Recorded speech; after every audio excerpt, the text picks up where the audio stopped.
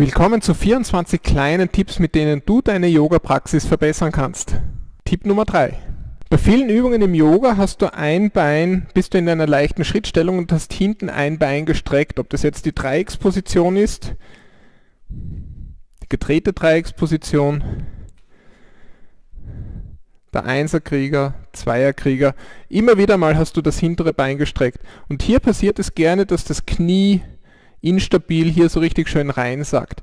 Vermeide das, indem du die Fußaußenkante vom hinteren Bein Richtung Boden schiebst und dadurch eigentlich gleichzeitig hier das Fußgewölbe gut aufbaust.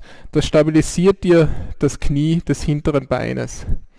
Und egal welche Übung du machst, auch wenn die Aufmerksamkeit eher vorn ist, vergiss das hintere Bein nicht. Das hintere Bein, den Fuß des hinteren Beines gut im Boden verwurzeln, die Fußaußenkante Richtung Boden schieben.